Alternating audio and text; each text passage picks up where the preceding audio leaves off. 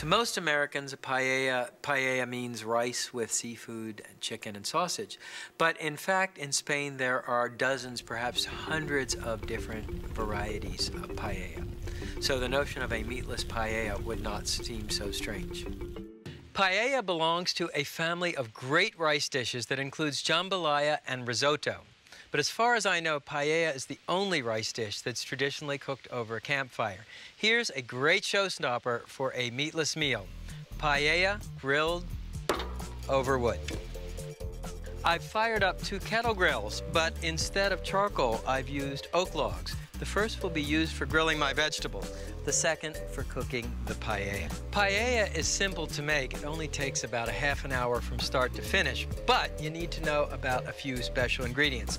The first is saffron, the world's costliest spice, which comes from an aromatic crocus. The second is piquillo peppers. The third is pimenton, smoked paprika. And the fourth, of course, is the rice. The traditional Spanish rice is called bomba. You can also use Italian arborio. Place the paella pan with a little olive oil on the grill and preheat the oil. People think of me as a cooking teacher. I've been called the barbecue guru or the gladiator of the grill.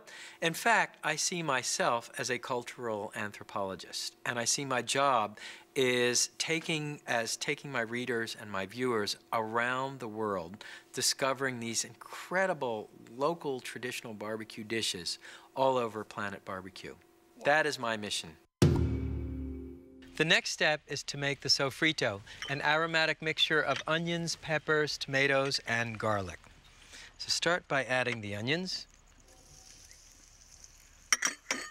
peppers, Okay, stir these ingredients together. Next, add the garlic and tomatoes. You add the garlic after a few minutes because it burns more quickly than the onions and peppers. Once the garlic has lost its rawness, add the tomatoes, saffron, and you see I soak the saffron in water to release its flavor and smoked paprika.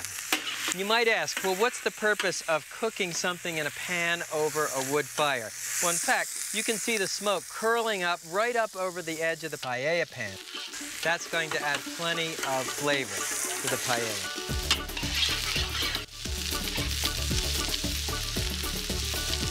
Once the sofrito is fragrant and beginning to brown, add the bomba rice,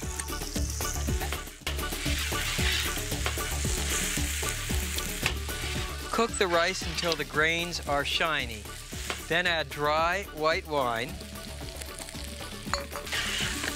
and vegetable stock. Give the rice a stir and let it cook. Meanwhile, I'll show you how to grill the vegetables. The vegetables for the paella are limited only to your imagination. The short list might include zucchini, yellow squash, eggplant, onion, mini bell peppers, tomatoes, and garlic. Note for the onion slices, I've pinned them with toothpicks. That will keep them from falling apart on the grill. Note on the garlic, I have skewered the garlic cloves as well. That keeps the individual cloves from falling through the bars of the grate. I've set up the grill in a configuration called a three-zone fire. Uh, a lot of wood on one side, that's my hot zone. A few embers in the middle, that's my medium zone, and a cool or safety zone where I can move the vegetables if they start to burn. So let's see, the onions take the longest. We'll put those on first, followed by the squash, zucchini, eggplant, mini bell peppers, baby tomatoes, and baby onions. The precise recipe is much less important than what looks good and fresh.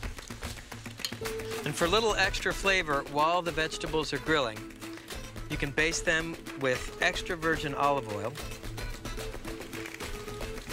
and your favorite Mediterranean herb rub. Cooking time for the vegetables, about three to six minutes per side, just until each is golden brown. We live in uh, this incredible melting pot culture, and we have a gift we have a, a, a wonderful curiosity about the way people cook and eat in other countries, and we have this gift of bringing it and making it part of our own. So here are the grilled vegetables. Don't forget to remove all the skewers. You know, there is nothing like the high, dry heat of a grill to caramelize the plant sugars and bring out a vegetable's sweetness. Okay, let's finish the paella.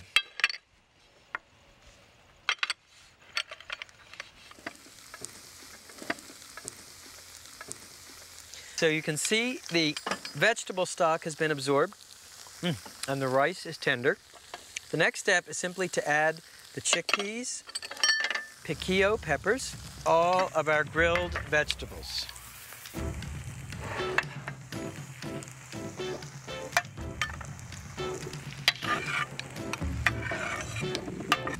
And don't forget the parsley.